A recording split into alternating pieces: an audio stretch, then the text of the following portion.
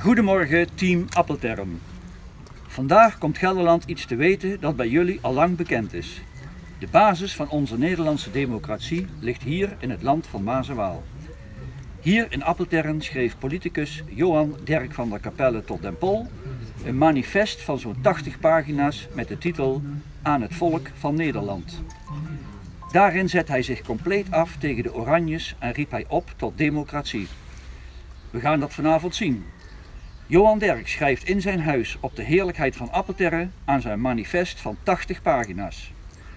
In het publiek zien we grote rode potloden en krulpruiken. We zoeken daarbij ook iemand die voor opschudding heeft gezorgd.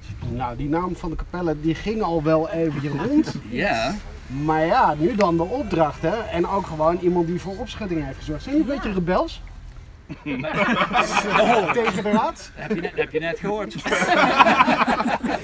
Dan wel een beetje in de volksgeest. Maar heb jij gaat iemand in gedachten? Ja, dit gaat gewoon helemaal goed komen. We trekken ons even terug met het team van 10. Gaan we even overleggen hoe we het gaan aanpakken. En vanavond eh, kan heel Gelderland zien wat het is geworden.